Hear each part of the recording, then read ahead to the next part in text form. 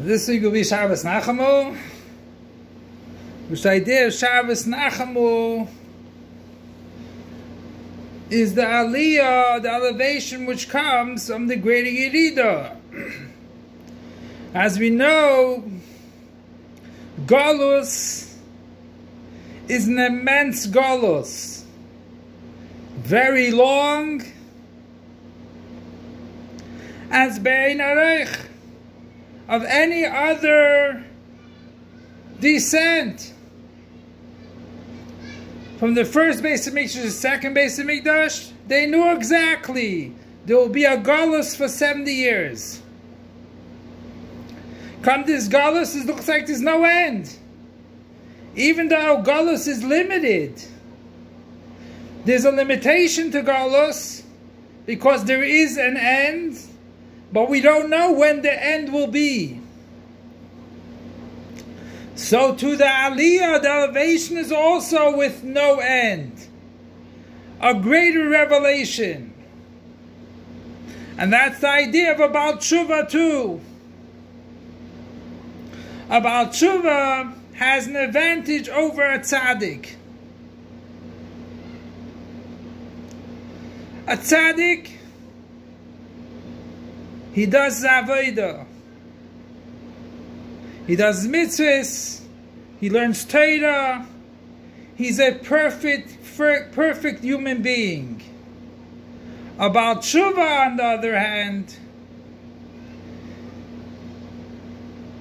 he goes higher than his existence.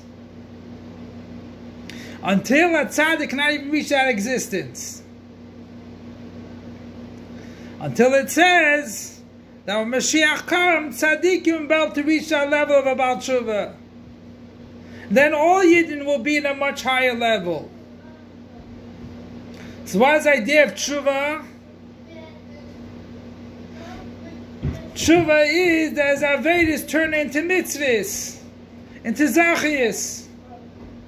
Why should his mitzvahs turn? Why should Avedis turn into zachiyas for? Why should it be more than what he was before? While you do a proper tshuva, it turns into Zachias? Why is that? Let him go back to where he was before. No, we tell him it completely gets transformed. And a way that since when he does tshuva, he totally transcends his existence. What I mean by transcending his existence, he does not, he makes sure he does not go back to the level that he was when he did Naveda. He transcends his existence. Okay, transcends his existence, so then he doesn't have any existence. What do you mean that it turns into mitzvahs? So it says Hashem helps him out. Once he does tshuva, that he says he'll never return to the level that he was when he didn't have Veda.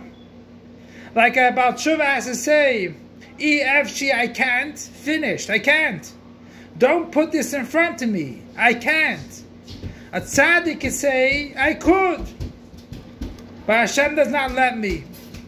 So about Tshuva, Hashem gives him the koyach.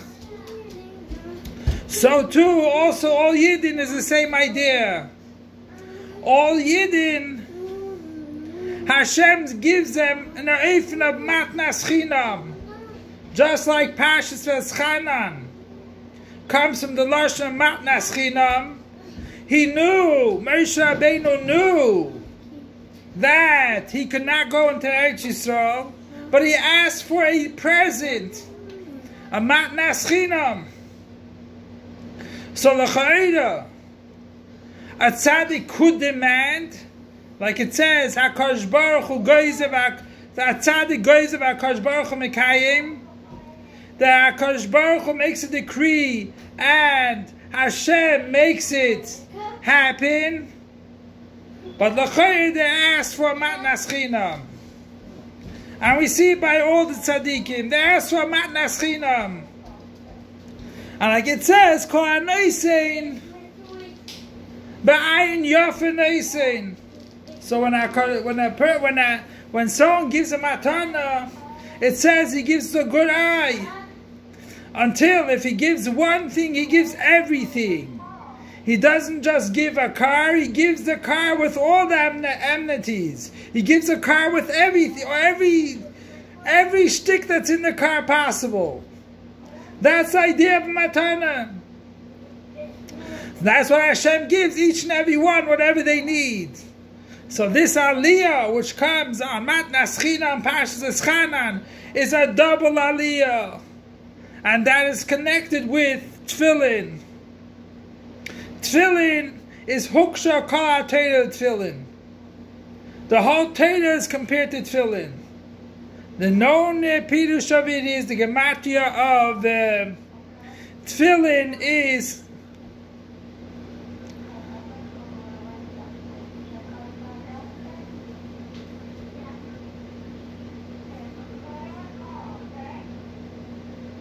That's Meshavet Mechalev.